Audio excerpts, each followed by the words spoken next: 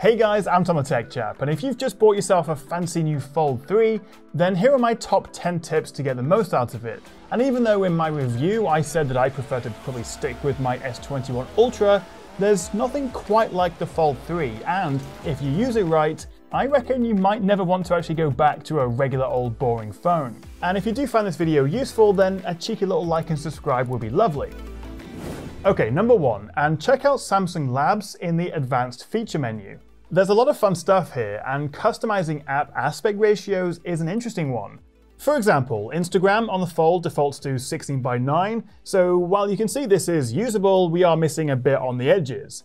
Now switching it to full screen means that we go from this to this, which fills the whole screen and does look better. However, it's not perfect, and Instagram stories do still get cut off, which is a bit frustrating. So despite this fix, I actually tend to stick uh, with the app default, which is 16 by 9, but depending on the app, this could be useful to play around with. Okay, number two, and while we're in the Labs menu, not only would I suggest turning on multi-window so that all apps can be used in split screen, although not all will play nice with it, but it's worth trying, and I'd also go into Flex Mode panel and enable it for apps that you'd like to have stay on the top half of the screen when you fold it.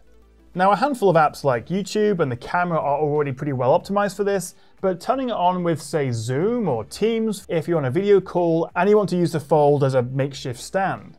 So definitely take some time exploring the different lab features, but for my third tip, make sure that you have edge panels enabled in the display settings. You can also then tap it if you want to customize the look and what it shows, but this is handy for quick app shortcuts, especially when you drag them over and see the different split screen options. At the bottom here, you can tap the little burger icon to add or remove apps, but the best part is if you set it up how you like, with up to three apps in split view, and even a fourth you can drop in the center as a pop-up floating app that you can then move around and stays on top. But once you've got your setup how you like it, you can then tap the little app dividing line thing in the middle, and you'll then be able to swap the apps around if you want, and crucially save this combination to the Edge menu. So then it's just one press to bring it all back up. And this is genuinely really useful if you have a setup you regularly like to use, maybe having Gmail and Calendar side by side, maybe a Notes app and Zoom, or even Discord and a game if you fancy. Alright, moving on, and if you're a gamer, remember that you're not just limited to playing mobile apps on the Play Store. Download Xbox Game Pass or GeForce Now, pair a controller over Bluetooth, and play some proper games on your Fold 3's big AMOLED tablet screen. You do need to pay for a subscription, of course, and you need a fast, reliable internet connection, but because you are streaming the games, you're essentially getting high-end PC graphics, it doesn't use up much of your battery, and there's also no downloads or updates to deal with. To be fair, most phones can already do this, but the Fold 3's big screen definitely makes it more immersive, and if you do already have an Xbox, then Game Pass makes sense, and it even supports picture-in-picture -picture mode, so you can check your messages and emails without actually leaving the game. Okay, tip number five, and I'm sure you already know this, but a big reason to get the Fold 3 is the S Pen support. And with either the S Pen Fold Edition or the S Pen Pro that gives you Bluetooth support for air actions and using it as a remote shutter for the camera, they both have the fastest 2.8 milliseconds response time, down from 9.2 I believe on the Note 20. So this really is the best S Pen experience you can get on a Samsung device, so I think it's definitely worth buying one if you can. Tip number six, and because the Fold has two screens, you can set them up a bit differently.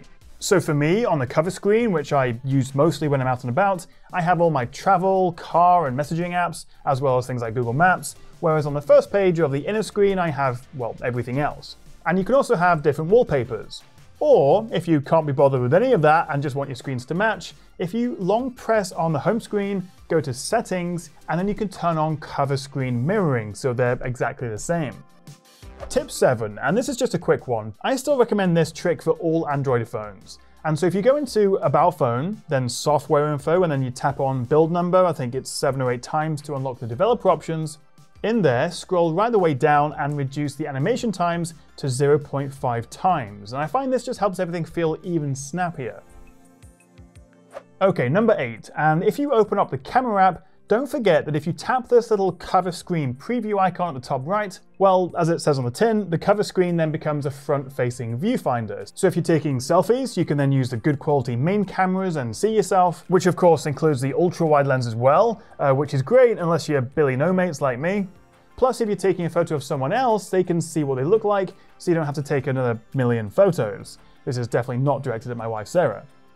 Tip 9, and this is just another quick one, but I'm not the biggest fan of Samsung's keyboard, particularly this default split view when using the tablet screen. So for me, I actually jump into the keyboard settings and switch this back to a standard layout, which I find more comfortable, or better yet, for me at least, I would download the Google keyboard, switch to Gboard in the settings, and I just find this much more comfortable to use. Okay, tip number 10, and don't forget that the Fold 3 supports wireless charging, up to 11 watts I believe, and also reverse charging. So if you tap wireless power share in the drop-down menu, then place another phone or device that supports wireless charging on the back, it'll charge up, albeit at a very slow 4.5 watts. But in a pinch, it might give someone enough charge to bring their phone back from the dead and so they can maybe get an Uber home after a long night. The Fold 3 really is a tinkerer's and enthusiast device, and there's a ton more to play with, like Samsung's DeX, finding the best apps and then taking advantage of the bigger screen like Lightroom, saving the best split screen combinations, but hopefully this little tip guide was helpful, and if you do have any other good tips, then make sure you share them in the comments for everyone else. Thank you so much for watching, guys, and I'll see you next time right here on the Tech Chap. I'm the greatest dentist of our century!